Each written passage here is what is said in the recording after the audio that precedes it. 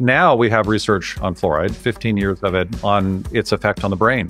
It lowers your child's IQ by four to nine points. And a pregnant mother can affect her fetus. It starts then. I would like if everyone gets tested for the oral microbiome and that dentists and patients alike have respect for this oral microbiome, have an understanding, a comprehension of why it's the root of everything. Hey everyone, before diving into the episode, I want to take a moment to invite you into our Mind Body Green ecosystem, where you can explore the infinite possibilities of health and well being. All you have to do is click the subscribe button to hear more thought provoking interviews with leaders in the health space. I am so grateful for all of you who have tuned in over the years, and let me tell you, it's only going to get better. We breathe north of 20,000 times a day. Yet we're not talking about breathing, whether it's nasal breathing or mouth breathing, in the context of oral health. Mark, tell us what's going on here.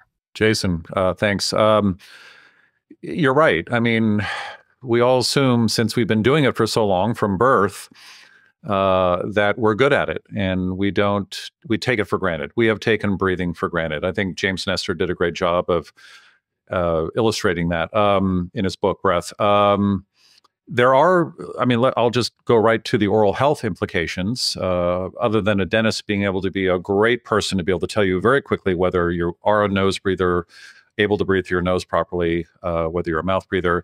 But simply put, if you breathe through your mouth, if you are a mouth breather, breathing through your mouth, um, you are going to have oral health issues and complications. And that's because if assuming that if you understand the concept that breathing through your mouth is not a good thing for many reasons, but in terms of oral health, it is affecting the pH of your saliva. It is lowering the pH of your saliva. It's drying out your mouth. Your mouth needs a certain amount of saliva to function properly. Saliva is the life giver in the mouth. It supports the oral microbiome and it helps prevent decay, cat tooth cavities, gum disease. It activates the immune system. It allows us to speak and swallow and digest foods. Of course, there are other op, uh, other uh, reasons for uh, the importance of saliva, but mouth breathing in itself, if you are mouth breathing during the day, but also at night, I mean that's a six to eight hour stint of just sitting there breathing through your mouth. Also, saliva flow drops normally while you sleep, which is normal. Um, that's a long stint of having to put up with a lower pH in the mouth, and a, a, uh, a, kind of a dysbiosis of the oral microbiome, an unhealthy state of the oral microbiome because there isn't enough saliva. So it's best to breathe through your nose unless you're talking and eating. So I, I heard cavities in there. Am I am I hearing right that you are more likely to have cavities if you are a mouth breather? It's funny. Um, you know, I figured that out about 15 years ago because it's not in the dental curriculum. Um, and then I started making, uh, you know, the association and realizing that, you know, my kids that were mouth breathing, they had a different consistency of saliva. You could see the biofilm on the tooth. We called it a furry biofilm or plaque layer on the tooth. Uh, these were all mouth breathers, uh, and and now it's clearly known that that is an issue because of our knowledge of the oral microbiome. Ironically, back to James Nestor, uh, he sent me while he was researching his book. He sent me a quote from a dental textbook from the late 1800s saying that mouth breathing is an issue when it comes to decay. And then it was dropped and forgotten and now we we see it. But, but it's not it was not taught in dental school. Yes. So your incidence of decay gum disease bad breath anything to do with the oral microbiome not being well not being able to do its job dys, dysbiosis it's like the gut microbiome uh, that will lead to decay gum disease. It, it's it's a it's a immune response disorder. Um, if the oral microbiome can't defend what's going on in the mouth, you're these diseases will pop up, and decay is right up there. So if I think of the things we're doing every day, breathing obviously need to breathe, breathe to live, so that that's top of mind. Then I think about our our oral health routine. There's brushing. I, I personally, what I do, I wake up, I go go pee and then I brush my teeth. And then before I go to bed, I brush my teeth and and floss. Shoot, is, is that Correct. Should I be doing that? Well, no, that's that's great. And unfortunately, as the the profession has kind of um, amplified that message that if you're not doing that, all hell will break loose. And that's true to an extent, but it's not the only part of the equation. You can still have a very poor diet. You can still be mouth breathing, for example, and you can be the perfect flosser and brusher, which is that's what I do. I brush when I get up in the morning, not after breakfast. And then I brush before bed.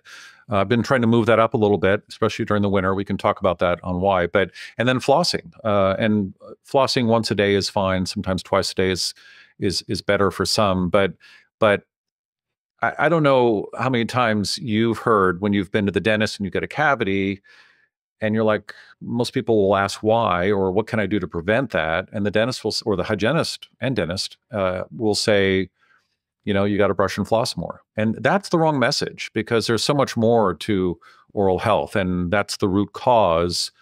Uh, that's discussing the root cause of oral disease. And it's diet, it's epigenetics, mouth breathing, it's uh, uh, toxins. Um, diet is the big one. But brushing and flossing, that's not the only thing that saves us. In fact, just doing that alone and not doing everything else correctly, you're still going to have decay. So we're going to touch on all of that. We're of course going to touch on diet, but if I'm brushing my teeth, the next question I'm sure everyone's thinking is, well, what should I be brushing my teeth with? There's toothpaste, all sorts of toothpaste. There's fluoride, there's whitening, there's natural. It runs the gamut. What's your? Let's talk about toothpaste. What what should we look for in a toothpaste, in your opinion? You know, we've done a really terrible job uh, of that as as a profession. The consumer is confused.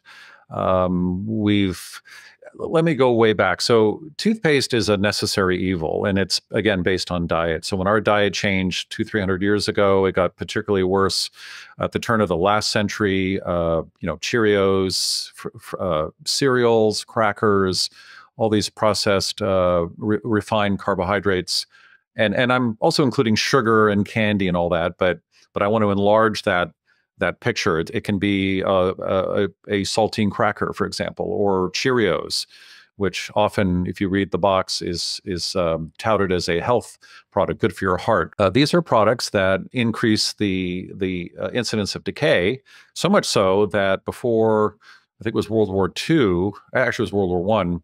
Uh, there was a real problem. The GIs had terrible teeth; they were in a lot of pain, and GIs don't do well when they are in pain on the front line. So they actually uh, invented toothpaste. They introduced toothpaste. Uh, there was a national campaign. They actually hired a psychologist to kind of move the needle in terms of behavior. How are we going to motivate people to brush? And the toothpaste that we developed back then basically came out of the back of a covered wagon snake oil salesman. I mean, it was soap, it was a detergent and uh, and that's the way it's been up until this point. We still have those toothpastes, and it's a huge market, a big profit maker, and boutique brands now are beginning to change that. Fluoride is hopefully on its way out soon. Fluoride is a neurotoxin for infants and fetuses. So, what to use? Um, I would use a fluoride-free toothpaste that is surfactant and emulsifier free without essential oils in it. Now, having said that, most of your listeners will say, well, does that even exist? Right. Tell me some brands. I'm going shopping. I've formulated a toothpaste. Uh, I brought it to market, so I know how difficult this is. Uh, I would say a clay based toothpaste is good. Uh, I think Primal Organics has that. Our toothpaste, FIG, F Y G G, which stands for Feed Your Good Guys, is emulsifier surfactant free and EO free, essential oil free, all these botanicals, there's no data that it it supports the oral microbiome. If anything, an essential oil is bactericidal. And that's the last thing you want to do is disinfect the mouth, which is where we still are and have been from the inception of toothpaste formulation design. Uh, it was designed to disinfect the mouth. You do not want to disinfect the mouth. In fact, if you can't find a toothpaste that doesn't do that, or it, yeah, um, it's better off not to use toothpaste. Uh, I would just dry brush and floss uh, because these toothpaste and mouthwashes that, that are designed to disinfect the mouth are taking down your oral microbiome, which actually cause bad breath, decay, uh, gum disease, and even high blood pressure. So make sure your toothpaste is supporting the oral microbiome, not trying to disinfect it. Uh, why would you do that for the gut? Why would you take antibiotics for the gut? I mean, it obviously it sets you back, right? You're hitting on a bigger issue, which we're going to come back to, is which diseases, other than gum disease, are, are born in the mouth. Uh, but but I'll, I'll segue there because mouthwash is something I've seen you take a pretty strong stance on. Let's talk about mouthwash. Why you're anti mouthwash? Same category as toothpaste, a little different. It was kind of a it was something that came literally out of the back of that snake oil salesman covered wagon. It was a, a, a essential oil, very strong. It was m- meant to burn, and and it was a eucalyptus oil, typically, which is what Listerine uh, that model or that formula is based on. And people back in the Wild West, I mean, they had rotting teeth. They, their diet wasn't optimal. It was difficult to get fresh vegetables. Uh, they were eating a lot of meat, which was good, but there was a lot of decay in the Wild West. And that's what appeared this market for we can fix that. If you have tooth pain, uh, I think tooth pain has shaped world history. Wild West, certainly, uh, especially if you're a gunfighter or or someone, you know, uh, chasing criminals. I mean, this, this was a difficult job. And if you're sitting there on your horse riding endlessly all day long and you're in tooth pain, uh, you're just not going to be very efficient at your job. So, so the mouthwash still is a disinfectant for the mouth, and most of them are quite strong. That kills a portion of the oral microbiome, mostly on the back of the tongue. These are bacteria that produce or that break down the nitrates in vegetables into nitrites and produce nitric oxide. And of course, nitric oxide is this wonderful uh, gas, very short lived, that uh, lowers our blood pressure and it's and it helps peripheral blood flow. It helps with oxidative stress. It helps with uh, mood. And as we get older, we aren't able to produce it as much. The one, and most of that comes from endothelial cells in the blood vessels and other parts of the body. But by age 40, we've lost that ability. But there's one mechanism that can still go strong to the to, to the end of our days, and that is this oral microbiome producing NO. And there are plenty of products now in the market you, where you can test that and see if you have the right oral microbiome for it. But mouthwash, we have plenty of studies. They're over 20 years old. Uh, mouthwash that is meant to disinfect your mouth, which is what most mouthwashes are designed to do, elevates your blood pressure by quite a bit. And the reverse is true. Uh, the the the effect of it is is is uh, reversed in six to seven days of of of ceasing the use of mouthwash. And concurrent with that, there's a new study out now. I think there are two of them, where if you tongue scrape, you can actually lower your blood pressure. So obviously, I'm recommending at Ask the Dentist and and on our Instagram account, stop using mouthwash. You can use salt water if you want, or baking soda and water, or just water. But the action of swishing really doesn't move the needle as much as brushing with a paste. If you need to reduce biofilm and reintroduce uh, minerals back into your teeth, mouthwash is not going to do that. If you have a strong biofilm, swishing with something, unless it's acid, you're not going to dissolve and break down that biofilm. It's the mechanical action of brushing adding some toothpaste to help boost your saliva mineral content of saliva. Saliva is a supersaturated solution of minerals hydroxyapatite, calcium, chloride, potassium, boron, magnesium. Uh, mouthwash doesn't do that. It's a waste of your money. At, at best, it's a waste of your money. At worst, which typically it is, it's it's having systemic effects. It's elevating your blood pressure. So beyond blood pressure, what other diseases or systemic effects do you believe begin in in the mouth with oral health? Yeah. So specifically with mouthwash, uh, there's one other effect of mouthwash, and that is insulin resistance. It it increases that as well. But in terms of diseases in the mouth, oral disease, inflammation in the mouth, essentially is a metabolic disease enhancer, and it is connected and linked to many chronic diseases. Probably 70% of chronic diseases have some involvement with an oral bug. And this all relates to the oral microbiome dysbiosis. So if your microbiome in your mouth is off, maybe you're using the wrong oral care products, maybe you're mouth breathing, maybe you're eating too many carbohydrates. Usually it's a combination of all of that. Uh, your body mass indexes affected, blood pressure, triglycerides are elevated, your A1C and fasting blood glucose will, again, these are all the, the elements of metabolic disease. And if you have oral disease, uh, this will be enhanced. Uh, it is a ampli- it's an amplifier of other diseases. If you have inflammation in the mouth, it, it it can make other diseases worse. And then, of course, you've got the connection between Alzheimer's, heart disease, cancer. Let's talk about brain health. I think brain health, cognitive decline, specifically Alzheimer's, is is on the rise, and many find absolutely frightening. And, and, that's not one. You know, I think about gum disease. Okay, got it. You know, blood pressure. Oh wow, I'm kind of surprised that. But then I think about cognitive decline, Alzheimer's, oral health. Wow, you've got my attention now. Right.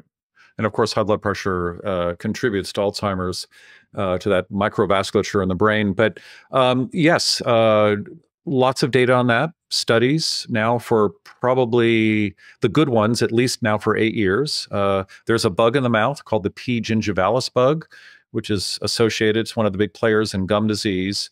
And that unfortunately is able to cross the blood brain barrier. It gets into the bloodstream via the gums. Uh, we can talk about that if you want, how that works. But and it gets into the bloodstream and to the brain. And when the brain sees that P. gingivalis, it lays down amyloid plaque. Uh, there are ten other reactions to the mitochondria of the brain, the myelin sheath. Uh, it, it the brain swells. Um, there is a sudden and sustained reaction to the to the brain, the immune system in the brain, if someone has chronic gum disease. There's a it's the gingipain. There's a agent that uh, has been studied. I think it was discovered at UCSF in San Francisco. The researchers and that already that research is now six to eight years old, and of course they're targeting that. If they could suppress that with a pharmacological agent, then they're hoping that they could probably reduce Alzheimer's by by a lot. I mean, uh,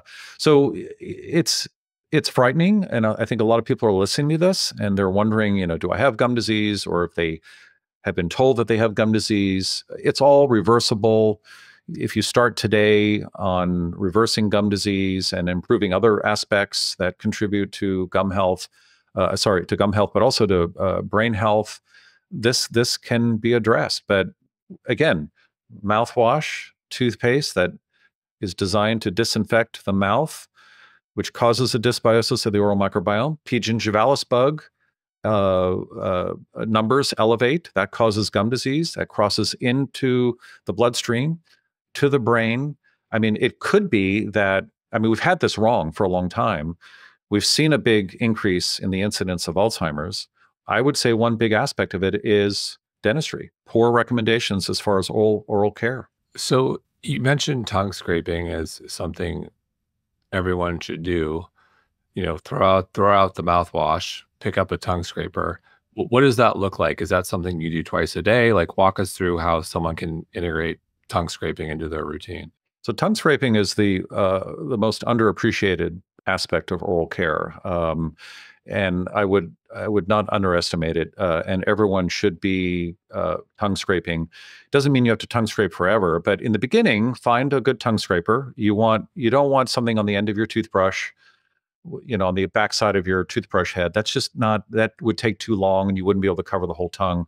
You want a bow-shaped instrument where you grab on both sides. It can be a flexible piece of plastic with little teeth in it. It can be a smooth piece of stainless steel and you would basically reach back as far as you can on the tongue, stick your tongue out, and you would drag this forward a few times along your tongue. In the beginning, it, you're going to see this. Uh, I'm trying to. It's a kind of a tan colored solution. That's typically what people will scrape off of their tongue. Uh, and remember, the tongue is like a shag carpet, or it's like a carpet with little mushrooms.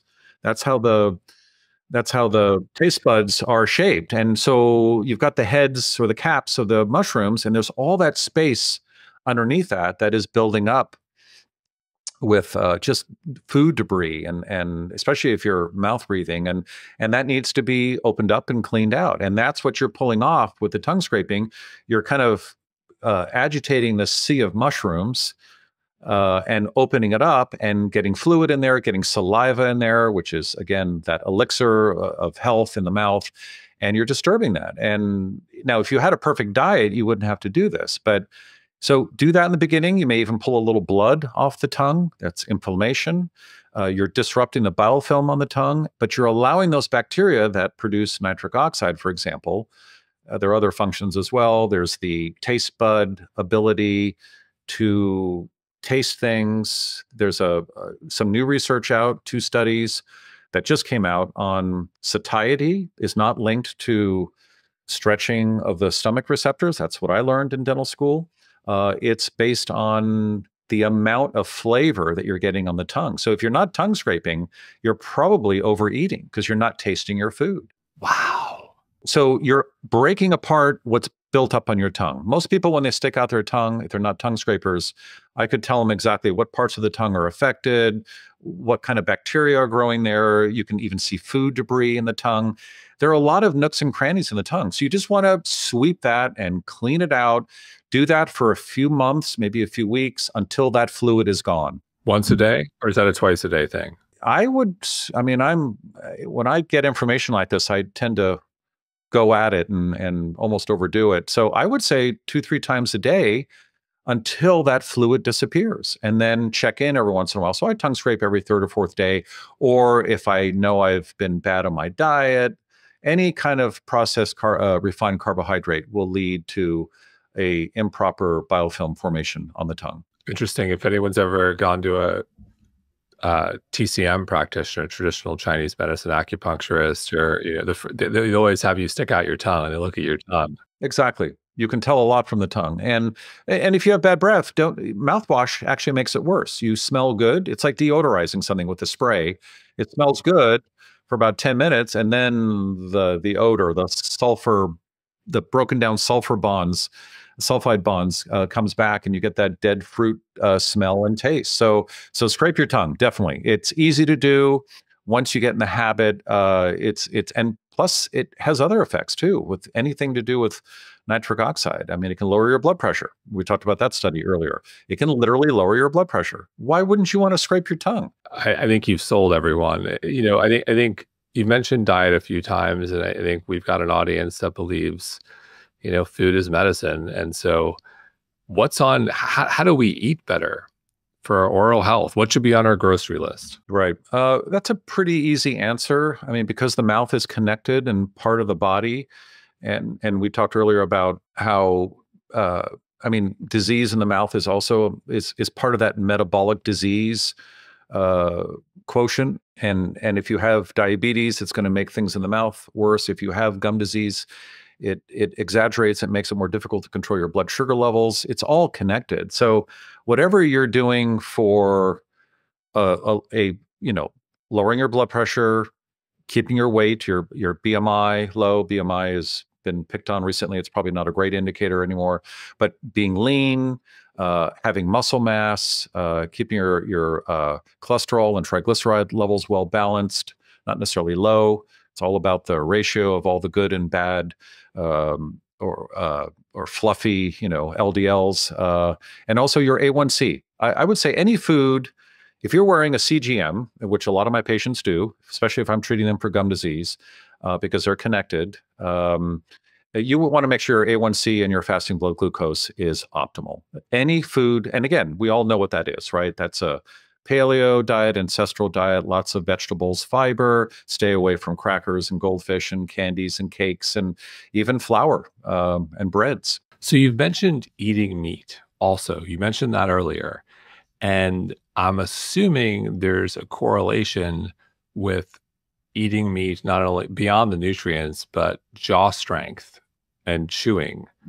And am I, is it fair to assume no, no, there's definitely um, something to talk about there. Uh, so, our ancestors, obviously, they became good cooks. I mean, it took chimps, it takes chimps about five to six hours to chew for what they need in terms of caloric intake and and and vitamins and nutrients. Uh, and we don't have time for that. And if you read, for example, if you read the book *Sapiens*, uh, which is a fantastic read, one of the points that he makes is that when we were able to start cooking our food, and it took less time to eat, and we were able to digest it more uh, or better, because it was cooked or broken down, uh, we became that much more of a superior species. I mean, superior is not the right word, but but uh, but if you look at today's diet, even to cooked meat or certainly raw meat, raw foods, um, we have lost an edge there in terms of development. Our jaws are smaller. They've, we've lost our width. We've lost our depth of the jaw. That vertical uh, growth and forward growth, which in turn has affected our airway and made us uh, very poor sleepers, has increased the incidence of sleep apnea. So chewing, especially when the child is developing from age, from from the first moment that they can chew, and that's sometimes before the teeth come in. And but baby food's pureed, it's watered down, it's mostly water and sugar. Uh, breast formula certainly doesn't apply uh, as a as a good food. Uh, breast milk is something different. The colostrum, of course, uh, that's not a chewing food.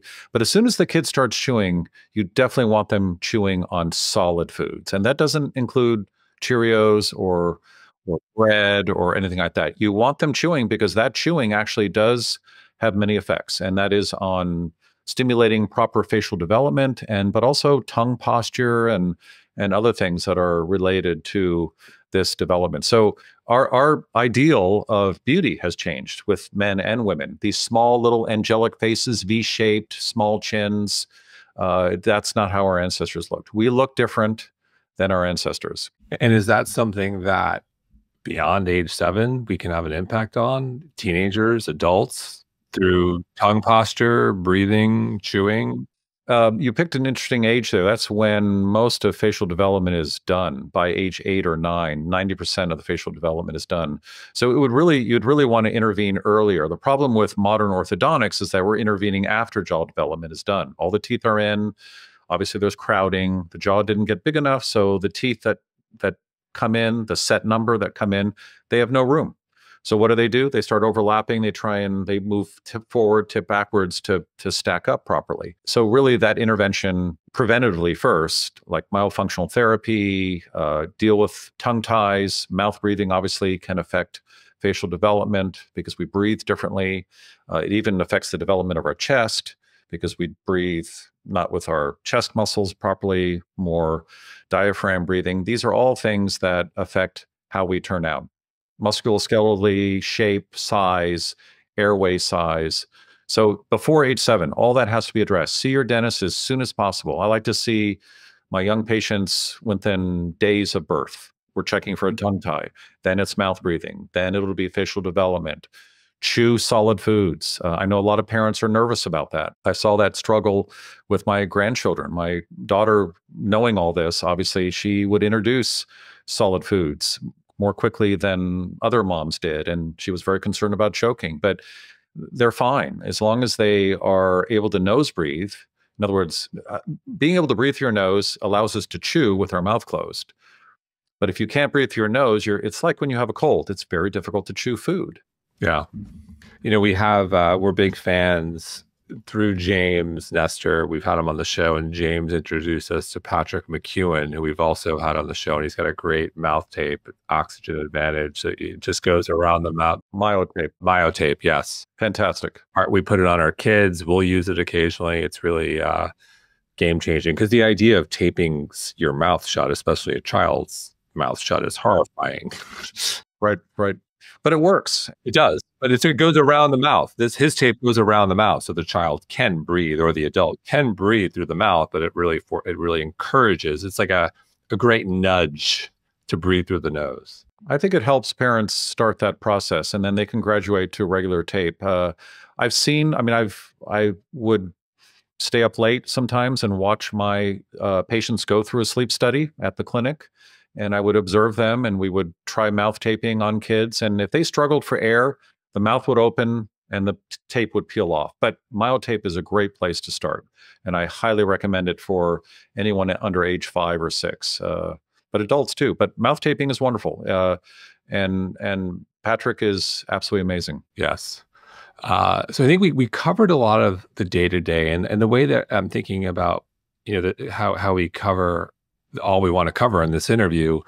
You know, there's the day to day, Then there's, you know, the two to three times a year trips to the dentist. Uh, and then we've got the somewhat non-invasive or, or, or, maybe very uncomfortable, a la braces, Invisalign, mouth guards. Then we've got the invasive, you know, the root canals, the implants, the, you know, the um, my my life is going to be disrupted for the next year or so.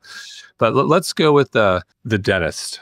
You know, I'm going to see my dentist. Maybe it's two to three times.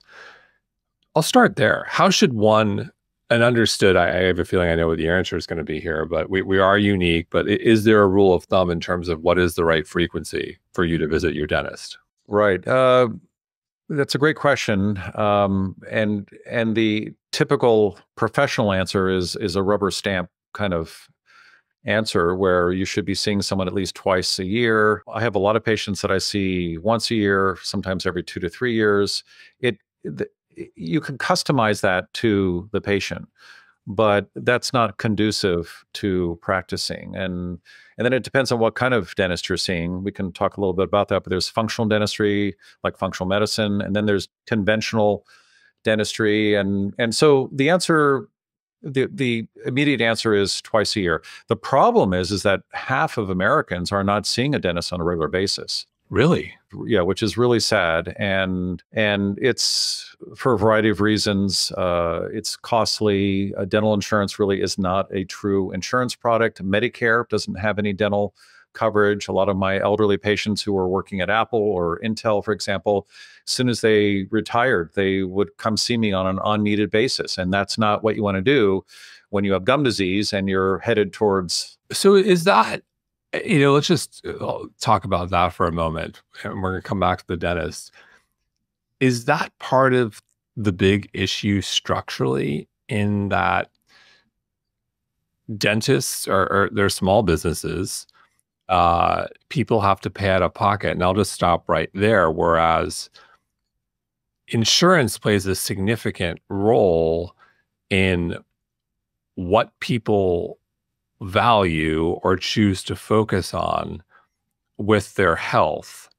And many people, if you've got a dental issue, you just blow through your deductible like that and it's all out of pocket. Whereas with traditional care, if I've got something wrong with a limb or an organ, most ins- most good insurance has your back. You're covered.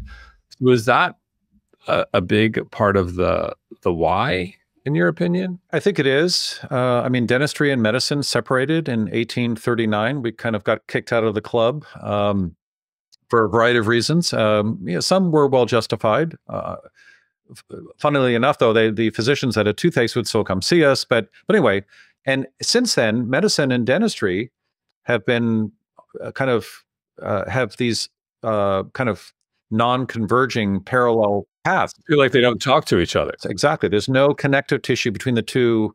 And I think most physicians, their education is that the mouth is well, that's that's the realm of the dentist, and it's just hard tissue, and there's no systemic involvement. And unfortunately, things are changing a little bit. But but because of that, because of that one fact, there are two different products, uh, insurance products, and one is dental insurance and one is medical insurance. Medical insurance typically is a true insurance product where if you get into a car accident, they they you know the insurance keeps paying out until you until you're better or if you have a chronic disease it, it keeps going. Where dental insurance it's not really insurance it's not an insurance product it's more of a benefit.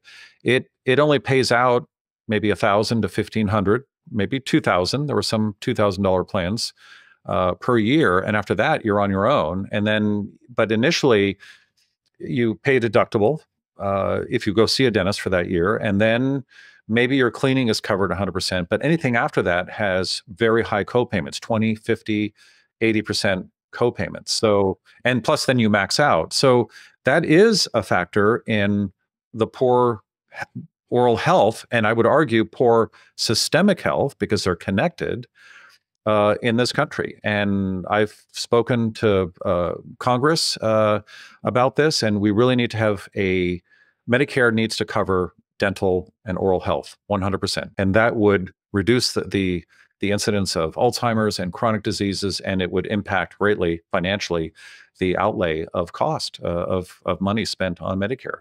So they you're right. That is a big factor because the two professions operate separately in two uh, parallel universes. Uh, they have separate products, and the dental product is absolute crap. So, so building off of the dental product, I'll go. We're going back to okay. We're we're we're at the dentist, and fluoride inevitably will come up. Is that why?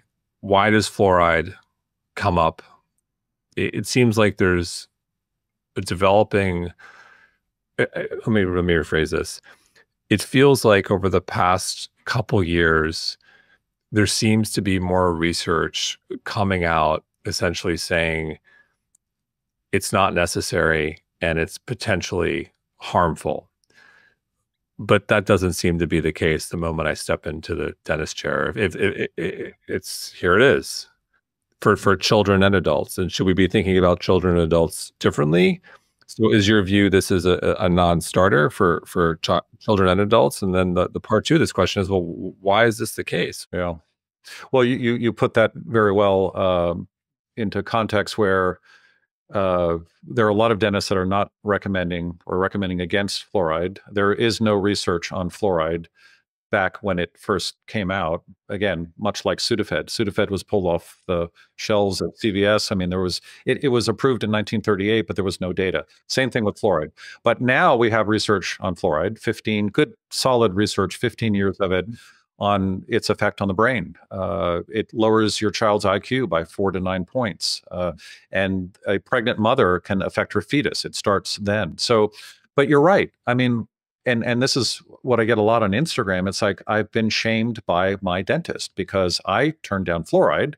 I know better, and I've read the research. It's it's on the web. You have to dig deep for it because it is it doesn't pop up. There's a lawsuit against the EPA, which is going to conclude next week. I'm going to be there uh, in San Francisco at the federal courts. This is something I've been waiting for for 40 plus years, maybe longer. All my daughters were raised without fluoride from way back when. The oldest is 36. Uh, and back then I didn't have the research, but I just had a bad feeling. It was a lesser of two evils argument. But now we have the research. It's been approved by the NTB, uh, the National Toxicology Toxicology Board, uh, 93% of the research has been approved. Um, I think we, I think that's needed. Two things are needed.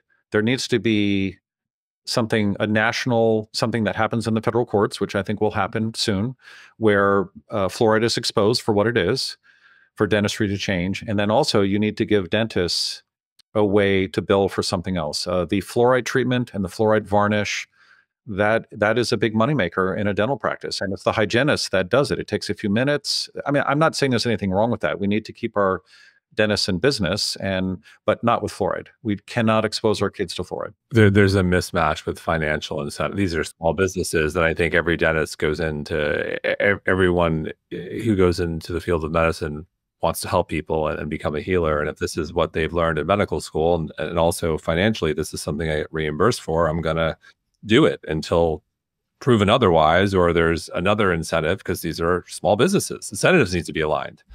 Uh, what about some of the other things? If I sit in my dentist chair, I, I think X-rays, I think cleaning, I think teeth whitening. Walk us through those briefly. X-rays are a big deal. A lot of moms ask about that, as they should. Uh, you know, uh, ionizing radiation. Uh, it uh, methylates DNA. Uh, too much of it is is bad. Some of it is okay. A little bit of it is okay. Um, but unfortunately, dentists have a protocol. They take x rays every six months, every 12 months. Some offices are every two years. It really should be based on what the dentist or hygienist sees. So I would go to a, a dental practice where the dentist sees you before the cleaning starts and makes an assessment. Uh, rather than after. Most dental practices have the dentist come in later, and of course, he sees a clean mouth the hygienist has done a great job, right? So, uh, and then the dentist, the hygienist is recommending X-rays. So, th- there has to be a very good reason to take x-rays and x-rays are definitely overused. X-rays are not perfect. We have newer x-rays. We have digital x-rays. If you do get an x-ray make sure it's digital not a film based x-ray. The dosage is much much lower there are some things your dentist cannot see, but even an x-ray can mislead a dentist. It's not perfect. These are little shadows. It's not, you know, you take you don't take an x-ray and then there's like a little X marks the spot. That is definitely a cavity. You definitely have to go in and and fix it. it's not that simple. So it has to be nuanced. It has to be done based on need. Uh, I would do as little as possible on kids. Uh, baby teeth, you can use a very bright light. I used to use a trans illumination device, a very strong uh, battery, uh, you know, a, a, cordless machine with uh, powerful batteries in it. it. was handheld, and it would focus the light down to a very small fiber optic tip. And through baby teeth, you can shine that light. And baby teeth aren't as as beefed up as as thick. They have thinner enamel and they're they're more translucent. You can literally see cavities with that. So use transillumination. There are alternatives, uh, but sometimes an X-ray is needed. Let's say you have a root canal that is, you know, you're tap sensitive and you're feeling a little soreness. You need a three-dimensional cone beam X-ray because the root canal is if that goes bad, that's worse than the amount of ionizing radiation. So again, ionizing radiation you you got to i would keep a diary of how many x-rays you're getting and ask for the dosage and that includes your physician chest x-rays are are are you know they they just every, every time you start coughing and hacking and there's you, they think you have pneumonia they they tell you to get a chest x-ray so um, what else whitening uh, whitening is bad for your teeth um, i'm not saying don't do it certainly don't do it on your own at home make sure you know what you're doing uh, if the dentist pulls out a special light and leaves the room and has painted your teeth with something, that probably is not a good sign. There's very good. There's very little good data on these LED lights, especially at home. Uh, the best way to whiten your teeth is to use a carbamide peroxide-based gel, about 10%, in a custom-made tray. Don't overfill the tray so that it touches your gums. Place the tray, leave it in for a half hour. Do that for a few weeks that is the safest way to whiten your teeth. Uh, and that should be done.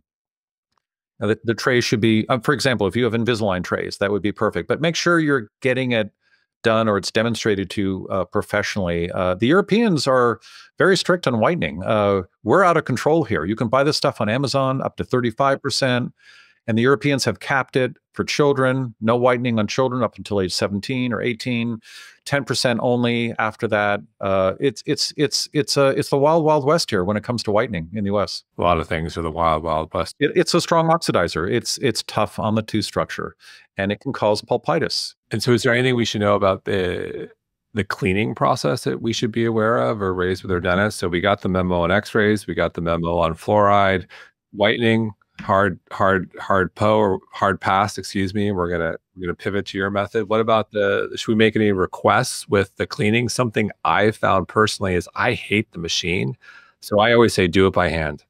They don't like it but they do it. I don't like it well, we used to do it by hand uh, with carbon steel instruments, uh, which is still a, a, great way to go. Um, you'd have to make sure that your hygienist is sharpening their instruments properly and has the technique and has the muscle memory.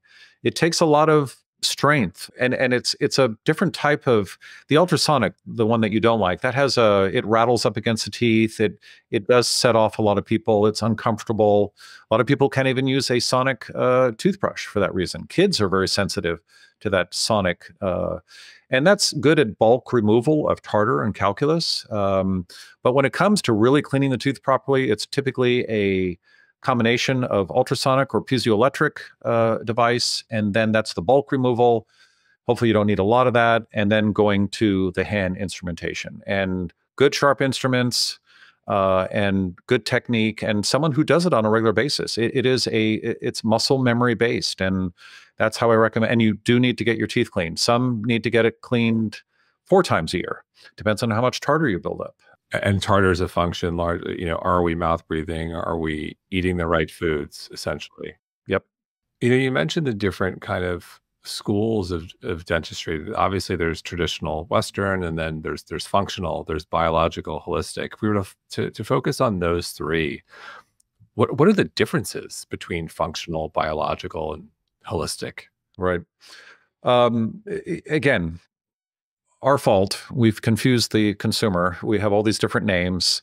Uh, uh, dentistry is very even more fragmented than medicine. Medicine at least has these large hospital umbrellas, nonprofit organizations, group practices. Where dentists are typically we're, we're more, you know, fragmented. It's small businesses, as small businesses, sole proprietors, mavericks, cowboys, whatever you want to call it.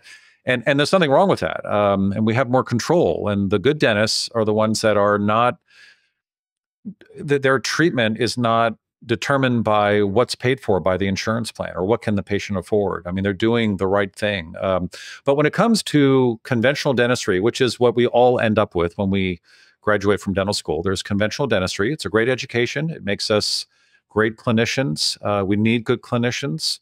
It's amazing what Western uh, dentistry can do, just like Western medicine, in terms of fixing things and making us look great and curing the, you know, addressing the symptoms. But it really should be more there needs to be more emphasis on that functional approach that upstream what is the root cause of disease so that we don't have to deal with any of the symptoms medicine's gone through that it's captured a small part of that market um, dentistry is going through the same thing i've been modeling and, and promoting that for at least now 20 years and the needle is beginning to move in that but what is a functional dentist uh, I, I, like the term functional. I thought about this for a long time. I like the term functional because it covers everything integrative, biological, holistic. Uh, uh, because holistic, or for example, uh, biological only deals with safe materials. It focuses on safe materials, but it may not focus on airway and facial development. Functional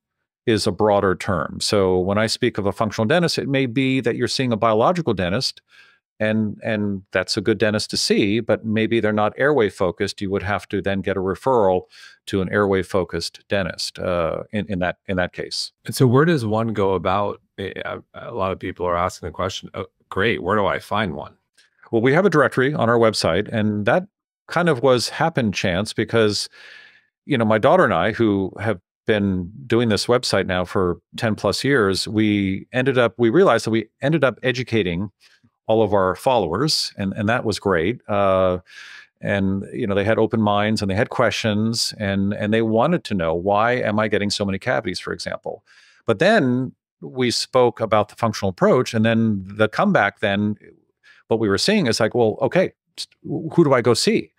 and I couldn't. I mean, I was getting people from out of state, and you know, I couldn't handle that load. So, so it was one of our staff members that came up with the idea we should have a directory and we should vet these dentists because they're out there. There are functional dentists. And so we built, we only have about 200, maybe 250 worldwide.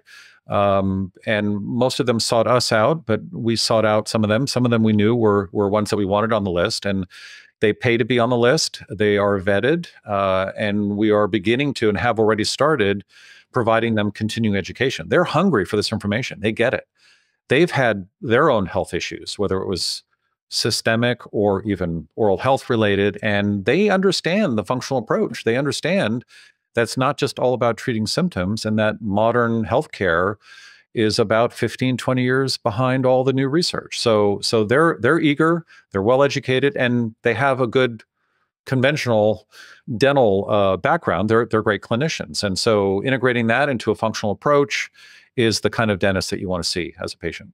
It's fantastic. We will definitely link to that directory in our show notes. So we'll move on to the the somewhat non-invasive, uh, very uncomfortable treatments, and I'll, I'll start with one that I think is fairly popular, Invisalign. Is that okay by you? Absolutely. Love the product. Uh, worked alongside them in in Santa Clara, which is where they started. Uh, that is a great product. Very non-invasive. It it makes more sense than conventional brackets and braces. Although Invisalign can't can't do all it can't do the difficult cases although they've gotten better. The material is is pretty safe pretty inert makes a great whitening tray and a and a great night guard if you're mountain biking or skiing. I, I always pop in my invisalign in case i fall. So great product. What about traditional braces for for kids uh, fine, not a problem. More difficult to clean around. Uh, it needs a lot of care and attention to prevent decay or decalcification marks on the teeth, which are difficult to remove cosmetically. The problem with orthodontic care is that it should be done at age two, three, or four. And how how willing is a small kid to get brackets and wires? Uh, it's all about convenience. When you go see a surgeon, pretty much everything, you know, getting knocked out completely. That's that's all for the convenience of the surgeon obviously you don't want to feel a lot of the pain but but surgeons make their life easier because they're doing surgeries all day and that that that's okay. But it's the same thing in dentistry. Orthodontists are treating kids when they feel that they can intervene at 12 and 13 but that's you haven't then you're dealing with a small jaw and you're taking teeth out to make room for the other teeth. So it's really about intervening early and good orthodontists functional orthodontists orthotropic orthodontists there are all sorts of different names of course again very fragmented but ones that are enlightened they are treating earlier without the brackets and wires and they are expanding the arch with a device that gets placed temporarily or permanently.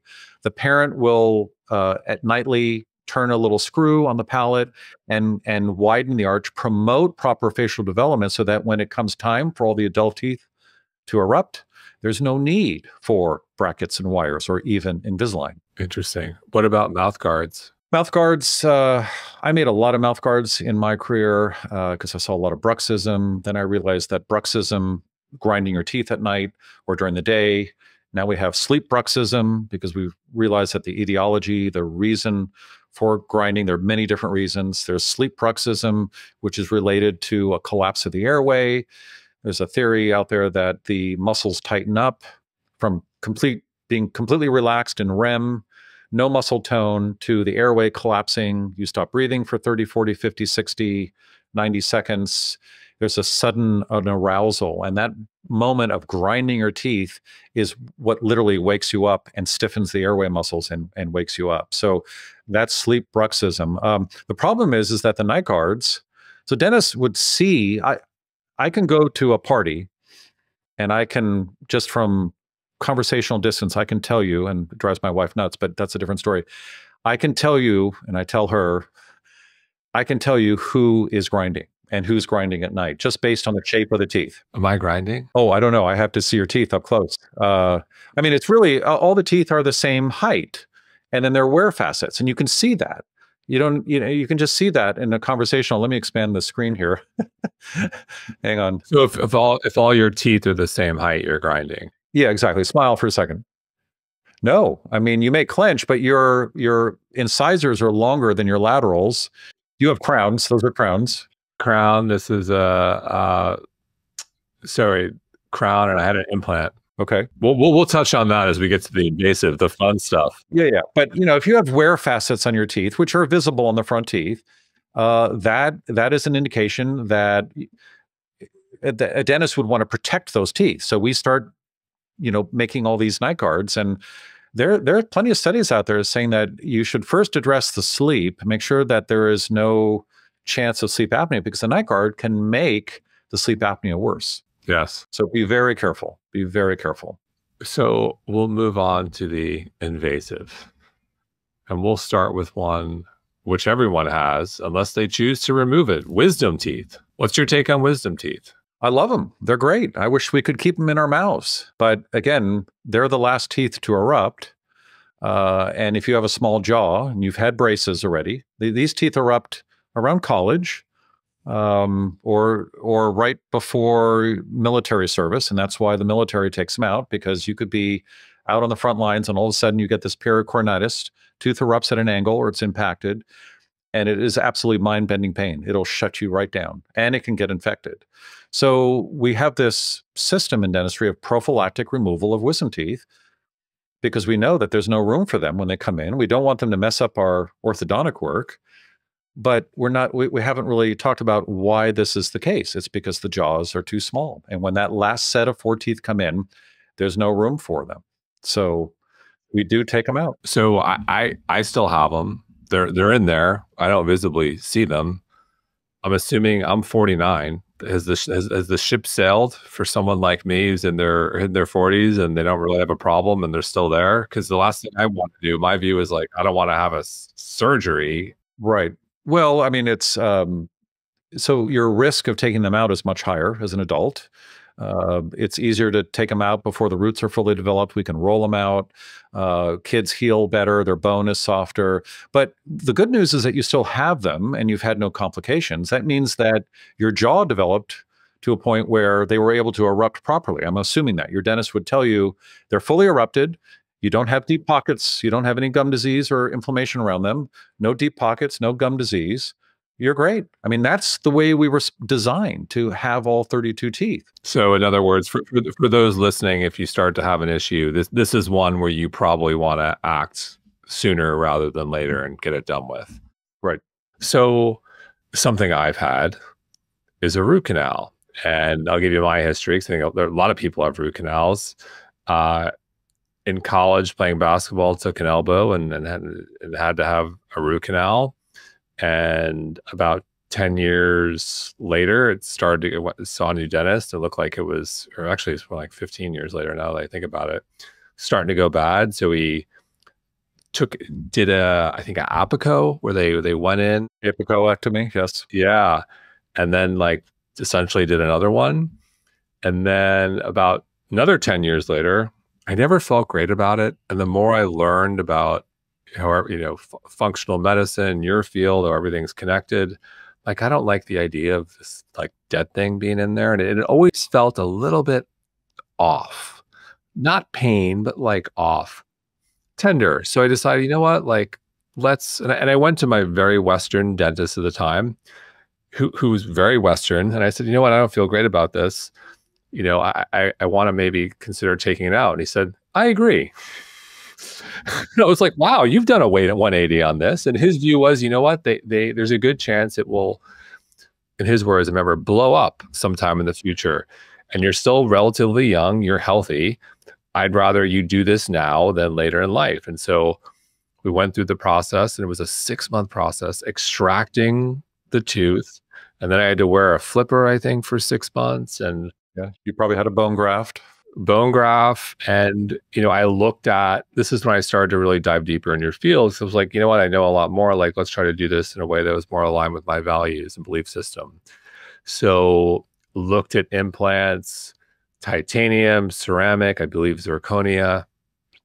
I couldn't do ceramic or zir- zirconia because the the the opening it wasn't a match and what i'd also heard which i thought was interesting because it was so there was a chance that it wouldn't take and it would break. And i'm like i'm so done with this process. Give me the titanium. I'm not doing this again. Right.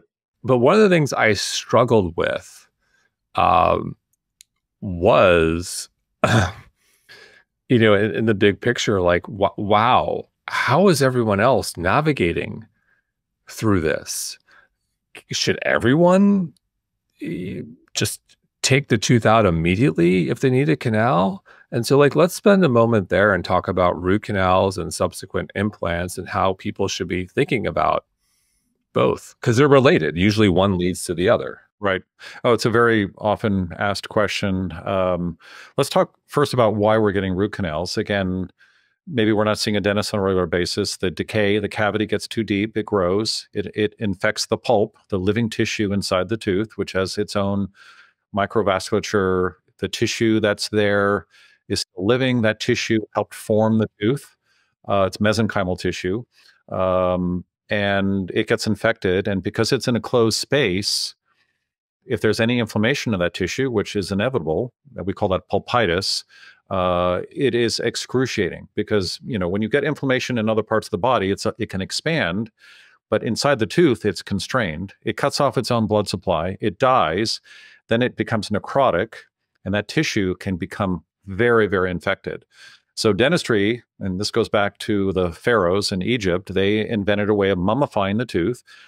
Uh, they would remove all the tissue. The theory is that they would remove all the tissue. It's a hard structure it's a hard tissue. And once it's empty and filled properly, and no bacteria from any other area can come back in, that this would be a great way to save the tooth. And in in theory and in practice, that has worked well most of the time.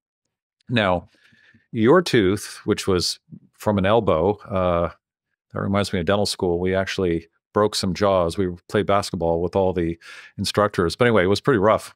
Uh, but that happens a lot, and small fracture occurs, and over time that tooth starts getting sensitive. Uh, people fall off of horses. They it's a car accident, and the pulp takes years, sometimes decades, to die. It can be within six weeks. It depends, but those small fractures to the teeth will lead to pulpitis, where the tooth dies and that tissue has to be removed. If done properly, and the older methods were horrible, the early method was putting in something, uh, putting in a compound called Sargenti paste, which was toxic. And it was fine inside the tooth until it leaked out the bottom of the tooth. You know, at, at the bottom of each root, there's a little area, a little foramen, a little small hole where the blood vessels and nerves would enter the tooth. So this Sargenti paste would exit, go into the bone, and just kill all the bone, and you'd get these large abscesses, and then it could get into the bloodstream, and and so that was outlawed. That was before I came online as a dentist, so it, it wasn't outlawed until maybe the 70s. And then, but today we use ozone, we use uh, lasers to go in. It, it's a very technique sensitive uh, procedure. If you can disinfect the inside of that tooth properly and seal it off, seal it off properly with gutta percha and all these new heated uh, pressure uh, kind of um, pushed uh, or or uh, applied methods of sealing off the inside of the tooth, it can work. Uh, root canals have a bad name because of the root canals that fail, like yours did, that needed an apicoectomy, which is a heroic, that's heroic dentistry. The success rate of that is 50%. Plus, they're drilling through bone. Oh, God. Yeah. Yeah. Right. So, um, I think in, in summary, root canals have their place. The best would be to prevent ever needing a root canal. Uh, if you do need a root canal, see if it's a tooth that can be extracted without needing a replacement. There are two teeth in the in the body that I think that applies to. A lot of people get root canals in those teeth, and I think that's unnecessary. If it's a front tooth or a, a canine, get it root canaled. Make sure it's done by a professional, uh, by a, a, specialist who does root canals all day long. He uses a microscope. He uses all the right techniques, laser to disinfect, ozone inside the tooth, and then check in with the tooth every two to five years, get a cone beam, get a three dimensional x ray, tap on the tooth. If it's tender, as in your case, if it doesn't feel quite right, there's something wrong. I wouldn't do the apicoectomy. If it fails, it fails. Uh, root canals are difficult to do, especially the upper first molar. Uh, lots of tortuous canals, very complex uh, kind of inside chambers. But if it's done properly, it can last a lifetime and not give you any trouble. If it gives you trouble, take it out, put in an implant. And how do you think about implants? Implants aren't perfect. Um, uh, they came online when I was a young dental student. It was invented in Sweden, uh, the titanium implant. I, I, think he was a physician, actually, used for a long time in, in medicine uh, for prostheses and prosthetics. Um, we used to think the body, the osteocytes, the bone cells loved titanium and would glom onto it and integrate with the implant. That does happen, but the original story was a little too rosy. Titanium oxides uh, do cause gum issues. Some people are sensitive to uh, titanium oxides, the coatings, and the byproducts of the titanium coating. Uh, and that's why zirconia now is in place. Zirconia is a little bit more brittle, although they've improved on it a lot. I'm okay with implants. It's more important to restore the function of that tooth for longevity, for quality of life, for digestion, making sure you're getting all your nutrients. Also, cosmetics. I mean, you don't want to be toothless in front. That's not a good good life, right? So I, I'm okay with it. It just you just have to have the right practitioner, a good clinician, pick the right materials, and and, for, for, example in the case of root canals you got to be willing to kind of cut it loose when it's not working. Yeah. And look i, I love your approach because it's practical. And when i started to go down this path and I, and I had this conversation with many respected functional medicine doctors who i will not name on this subject it was like when i look around at anyone who's holistic they seem a little too kooky. Like I'm not trusting them. They don't seem balanced. And, and I, I love a lot of, there are a lot of great functional or integrative medicine docs where they are balanced, where it's like, okay, you need the surgery or you need that, you need to take the mm-hmm. pharmaceutical or, you know, you need to like take a breath or eat more kale or, you know, take a supplement. And I was finding on this subject, it, it was feeling a little out there. And for someone who had been through the ringer with their mouth. I'm like, you know what? I, I'm going to get a lot of information and, and go this direction. But I was, then I discovered you. Uh, I wish I lived in California and I met you two years ago. But uh, yeah, I get why people struggle with this one. Oh, there's a lot of kooky out there in dentistry. Absolutely. Yeah. Look at fluoride. Look at that one. Look at the fear of glycerin in toothpaste. It, it's all based on one engineer from Purdue that thought he, when he was retired, knew a lot about oral health. I mean, there's, and be wary of the person who bases it on old I won't even use the word research but comments that got transferred to the web or maybe from a small pamphlet the the fear of the root canal was a very small book uh, and again there go with the science. There's lots of science out there. And if your dentist seems a little too kooky or a little too weird and won't cite studies or support why or why not something should be done, then you should move on. And then the other option, and this is what we're doing at Ask the Dentist, is the, you know, it, healthcare has been democratized. It's it's on the web. You can educate yourself very easily. Sometimes just by following someone on Instagram. You may not be getting all the details, but you find someone you trust that is talking about studies and being practical, uh, and then be knowledgeable before you go in and agree to a procedure. I love that advice. And you know, something else where I think we're we're seeing a lot of in 2024 in the last couple of years are veneers and crowns. I have one because when I had to do my front tooth, the dentist recommended. He said, one aesthetically, you want the teeth to match. I'm like, okay, but more importantly, when you're doing the essentially the the when we're pulling that tooth out, the flipper is going to have more success if we grind this one down so that's stable. I didn't love the idea of it, but I did it. Uh, so I have one, and I remember when I had the flipper, there were times where I'm like, this tooth that we grinded down is a little too painful right now. Is that normal? I felt like he's like, yeah, you probably have some trauma but I have one. I know I'm not alone. A lot of people getting veneers and crowns. Let's talk about that. You know, I, I used to, I used to do a lot of veneers, and, and, I loved doing it. It was the artistic aspect of uh, of my work, and I was a history of art major before I was a biochem major.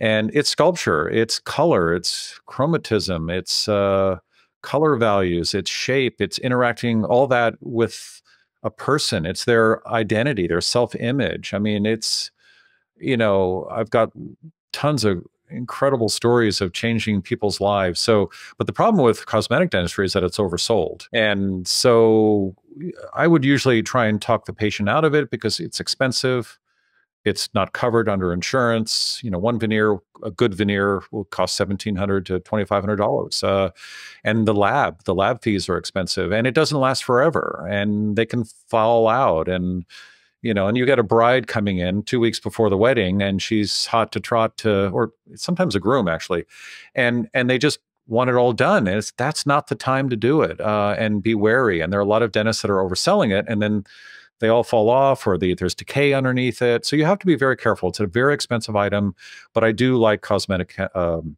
dentistry. And the porcelain veneer is amazing what it can do to someone's life in terms of interpersonal relationships, work, uh, happiness, uh, all of that. But again, be careful. And and as a dentist, I would say be careful who you're working on. A lot of patients come in and think this is the solution for all their problems in their personal lives, and it can actually make things worse. Uh, so be be very careful. But it's a great, it's one of the great things that dentistry can do for someone. So, in closing, where do you see this field going, or where do you want it to go? What, what do you want to change? I, well, ideally, I would like it to go where I want it to go, and I think we're headed that way. Um, it it needs to it, there has to i guess to make it simple there has to be more respect for the oral microbiome. We need to do research. We can now test for the oral microbiome. We have this very simple test broad spectrum uh, shotgun genomic uh, test that tests for all bacteria in the mouth. Do you have that specifically? Do you do you yeah. Oh amazing. Can we link to that in the show notes it's a cold bristle. I'll give you the link. It's wonderful. Uh, it's only been out for maybe a year and a half. Uh, I would like it. I would like if dentists and and they are, but it's not mainstream yet, where everyone gets tested for the oral microbiome, and that dentists and patients alike have respect for this oral microbiome, have an understanding, a comprehension of why it's the root of there's that word again of everything uh, when it comes to oral health, but also it's the root for a lot, the majority of things that happen in the body. So if we can just start thinking and practicing that way, and patients can come in and pre-select a dentist that or a physician that thinks that way, this would move the needle and it also help protect our children. I'd love to get rid of fluoride. That's going to happen soon, I think. Federal lawsuit is going to end up, uh, hopefully, uh, he'll rule here in San Francisco, and it'll probably be we'll probably hear something middle of February on that. That's around the time this podcast will uh, air. It's going to be interesting. And you know, the EPA has done a DOJ has done a terrible job of defending themselves. They've admitted on recorded depositions that they were wrong on this. They don't have research that it does cause inflammation of the brain. The NTP has approved uh, over, I think it's 79 studies from Canada, Mexico, China, the US, that there is a correlation between lower IQ and mom's drinking of fluoride and and it's also toothpaste. Toothpaste gets absorbed through the oral mucosa. So if you go in and get a a fluoride varnish let's say your kid gets that that yucky stuff at the end of their visit and they have to keep it on for a half hour they can't drink and they can't eat that's called the fluoride varnish. That is loaded with fluoride. I mean toothpaste is 15 1200 parts per million. That's up to 50,000 parts per million and that goes right to the brain within 10 minutes. So we need we need a we need better dentistry. We need a functional approach. We need to stop using and recommending all these terrible things, mouthwashes, toothpaste that are harming the oral microbiome. We really need to show the oral microbiome some respect. Agreed. Mark, thank you so much. Thank you, Jason. That was fun.